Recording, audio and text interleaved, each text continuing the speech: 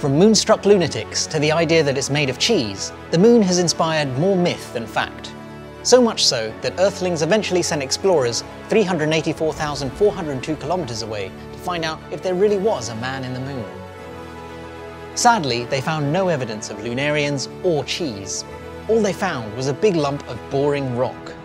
As we stare up at the moon and contemplate the comforting rhythm of its monthly phases, you might wonder, what does the moon actually do?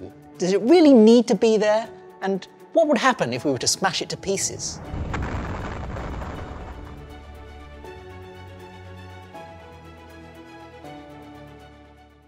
Our planet didn't always have a moon. The prevailing theory of the moon's formation suggests that about 4.5 billion years ago, a Mars-sized rock called Theia slammed into Earth, vaporizing much if not all of it, and flinging out chunks of rock that eventually coalesced into the moon. Destroying the moon could just be seen as revenge for the chaos that Theia wrought on our world all those years ago. But there's actually a really good reason to get rid of it. Astronomers' observations of distant objects are often impossible because the moon outshines them by so much. It's 14,000 times brighter than Venus, which is the next brightest object in the night sky. Without a moon, we'd be able to see much dimmer and more distant objects in space all year round without having to wait for the right phase. Another bonus is, if we did destroy the moon, it could result in Earth having rings.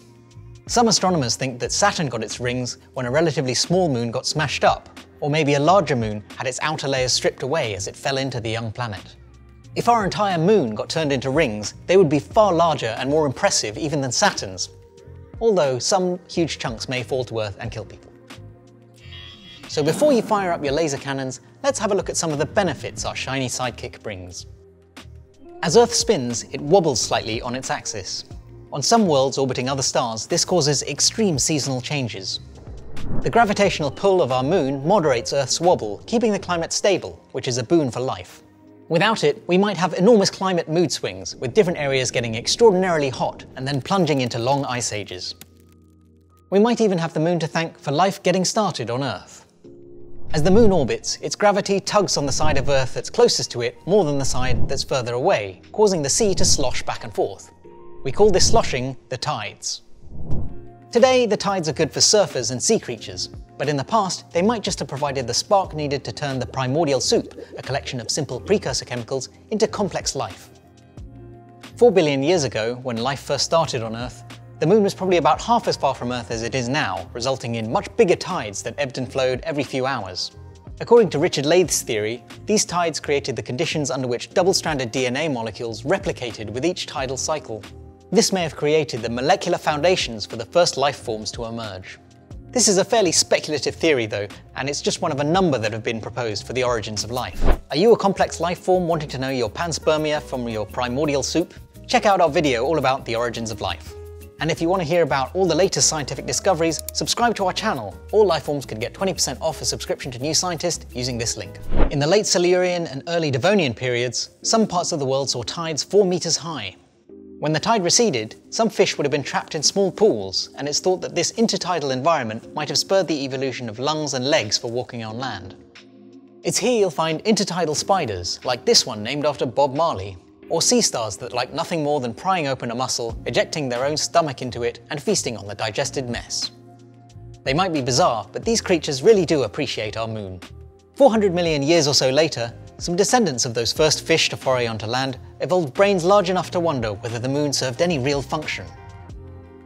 Apollo 11 and five subsequent lunar lander missions saw 12 people explore the moon's surface to uncover more of its secrets. Apart from being a phenomenal technical achievement and a massive propaganda win, those missions greatly advanced scientific knowledge. It turns out getting rid of the moon would mean getting rid of the best place to learn about Earth's own past. Today, the moon might seem a bit of a dull, uneventful place, but it wasn't always like that. When it first formed, the moon was volcanically active, with a core, mantle and crust just like Earth, and it was just as susceptible to a meteorite strike, or 10,000. Whatever was going on on the moon was also going on on Earth. Since then, Earth's tectonics and erosion have erased much of its geological history, smoothing out billions of years of violent activity. That means the moon is the best geological record we have.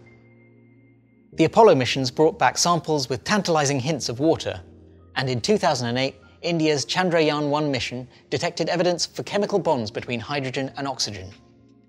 More probes followed, and in 2020, NASA announced that it had found water on the sunlit surface of the moon, showing that it wasn't just found in cold, shadowy places. This lunar water may be key to an exciting future for the moon. NASA is already planning to send humans back there in 2024, including the first female astronaut to set foot on the moon.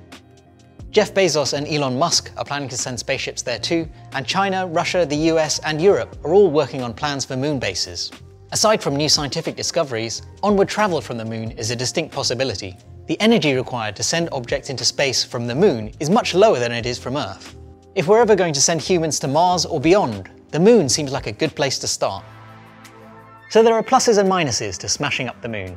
Keep it for the tides, our mild seasons, and a site for space bases, or blow it up as a boon to astronomy, revenge for Theia, and to decorate Earth with rings. Let us know what you decide. I know which I'd choose.